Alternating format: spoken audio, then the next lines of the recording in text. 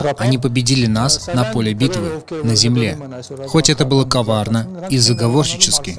Однако все, кто сегодня следит за военно-стратегическим развитием событий, понимают, что это для них не пройдет даром. Под главным показателем этого нужно понимать факт отсутствия коридора через Сюник. Этого коридора не будет, и по причине отсутствия этого коридора все их терзания будут напрасны, потому что без этого коридора все это бессмысленно.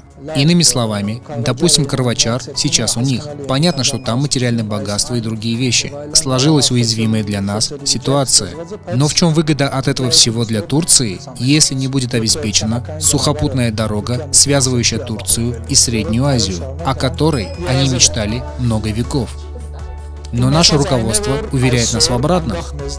Я говорю о том, что сегодня по независящим от нас причинам продолжение этой катастрофы, которая должна была продолжиться новым бедствием, это должно было быть в виде разделения, раздробления и отчуждения Сюника. Все должно было закончиться этим.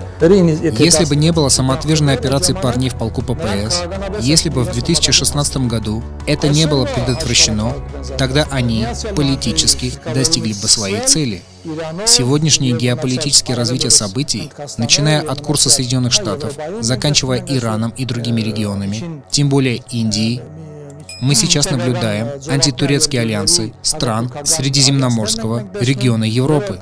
Все это складывается в нашу пользу. Благодаря созданным сегодня военно-политическим форматам или новым ориентациям, Сюник будет сохранен.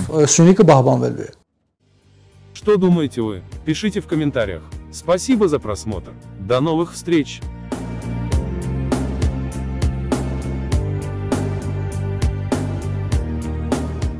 Спасибо за просмотр. Поставьте лайк, и если вы не подписаны на наш канал, то подпишитесь.